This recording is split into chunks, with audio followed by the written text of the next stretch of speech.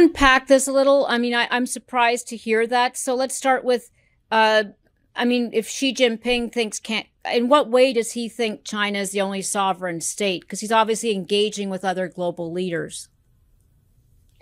Yes, he's been pushing the notion that uh, of the Chinese imperial era, that Chinese emperors not only have the mandate of heaven over what they call Tianxia or all under heaven, but that heaven actually compels them to uh, rule the entire world. And his officials have been quite explicit about this.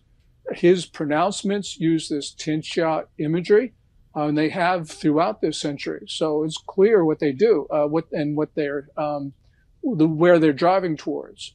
Um, but what has been surprising, as I mentioned, is that they're now talking about the rest of the solar system as being part of the People's Republic. And that is new. And it shows you um, Chinese assertion and uh, how, you know, how we have to defend the global commons. Let's go closer to home than the solar system, which is Taiwan. It's been independent for almost 75 years, you know, essentially since the formation uh, almost of, of communist China. What is it that's different right now about how it's viewing Taiwan or how this has become a more dangerous and sensitive situation? It's become more dangerous because Xi Jinping has created markers for himself by putting time frames on China's annexation of Taiwan. You know, uh, previous Chinese leaders have said Taiwan is part of China. But those guys didn't really mean it, or they weren't paying. Uh, they weren't trying to to actually take over Taiwan. Xi Jinping is different. He now says, um, and he's been saying this since he's been China's ruler, that the Taiwan problem, and he calls it a problem, cannot be passed down from generation to generation. And recently, Chinese propaganda and Chinese official pronouncements talk about how Taiwan must be taken over in the quote unquote new era. Well, New Era is Xi Jinping speak for the, his time at the top of the Communist Party. So he is putting, um, in a sense, uh, telling the Chinese people that he will do this, which means that every year that passes where Taiwan remains independent, it puts more pressure on him to act. Isn't a stable Taiwan better for the U.S. Um, U.S. U.S. economy certainly, but also the Chinese economy? You know, in terms of chip production and all the various other ways in which Taiwan is both integrated into the China supply chain, but also heavily invested in the mainland too.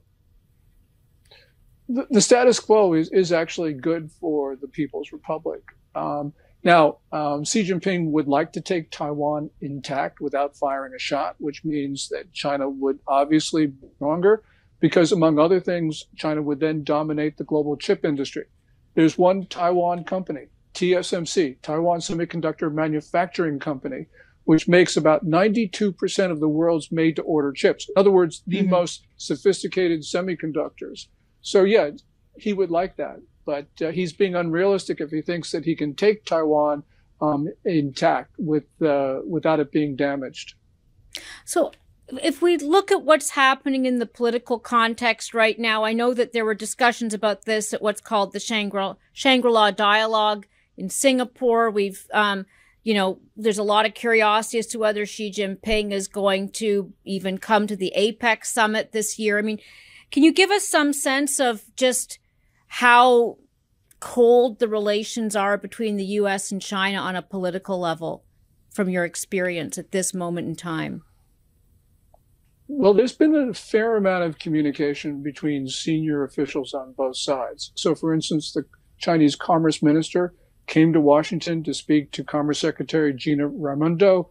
Um, National Security Advisor Jake Sullivan saw Wang Yi, his counterpart uh, in Europe, for uh, basically a two day meeting. Um, CIA Director um, William Burns was in Beijing for a secret trip about two weeks ago. And William Burns, our um, Nicholas Burns, I'm sorry, our, our mm-hmm. ambassador to China, actually had conversations with uh, Qin Gang, uh, foreign minister. So there's been a lot of communication, but things are still tense because there are differences.